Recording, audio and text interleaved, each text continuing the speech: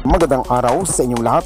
Narito ang ating latest update kay Herlini Phone na kung saan Herlini Phone binihisa at binago ang loob umano ng kanyang sariling bahay. Mamalaki ngayon ni Herlini Phone ang kanyang bagong bahay na kung saan binihisan o binago nito ang loob ng kanyang bahay matapos nitong mabili. Nagpapasalamat naman si Herlini Phone sa kanyang manager na si Wilbert Tolentino at sa lahat umanong tumulong o sumuporta sa kanyang laban sa Binibining Pilipinas. Maraming salamat. Yan po ang ating latest update kay Herlin Ifo na kung saan binihisan at pinaganda pa ang loob ngayon ng bahay ni Herlin Ifo. Ako naman si Codander TV.